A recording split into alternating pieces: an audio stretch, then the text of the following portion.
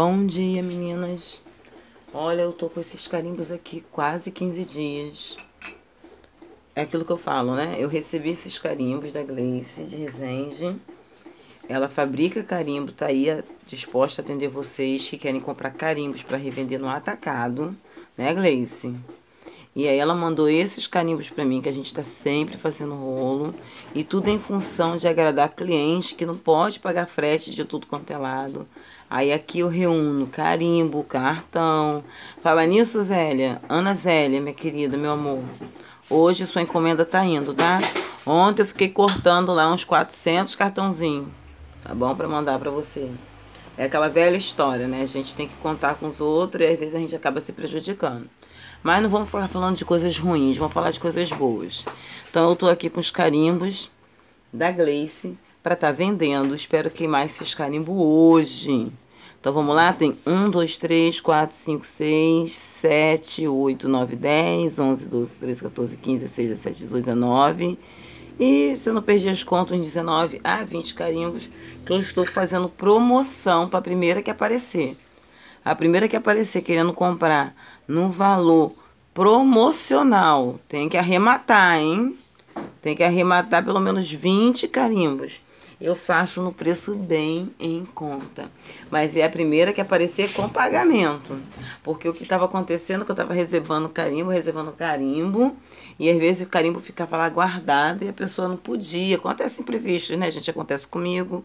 Então eu só digo que reservo para aquela que pagar, tá bom? Então pensa no seu bolso, pensa nas clientes que precisam comprar carimbo de vocês e arremata esses carimbos aqui, ó. Ai, ai. para fazer ótimos adesivos. Então, um beijo para vocês. Até a próxima. O zap para contato fica aí no link da descrição.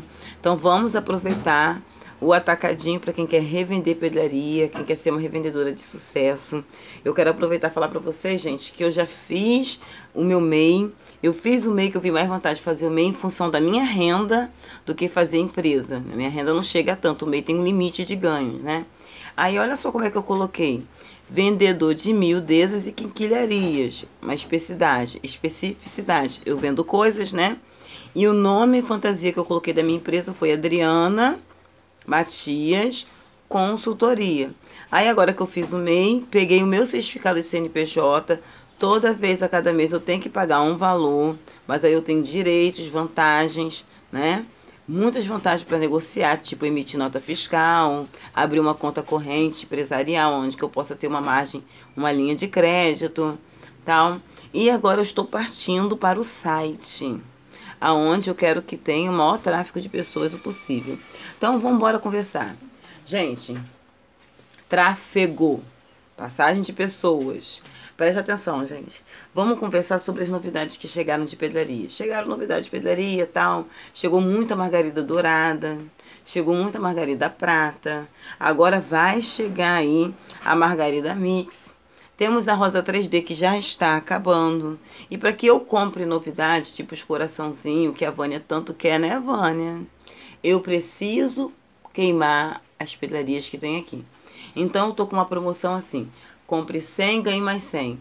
É vantagem para quem revende pedraria só no fato de que é muito chato ficar ensacando pedras, tá? Então, eu tô aqui na promoção Compre 100, leve mais 100. E quem quiser tá comprando essa promoção, quem revende pedraria, quiser tá juntando com os atacadinhos mais necessários, que são os domes, ou caviar. Né? Tenho certeza que as meninas que revendem pedraria já tá com deficiência de caviar. Então, vamos pegar a promoção de caviar, tá bom, gente? Que eu nem sei como eu vou fazer essa promoção, mas eu vou pensar num jeito que fique bom para nós duas, tá? Então, beijo para vocês e até a próxima.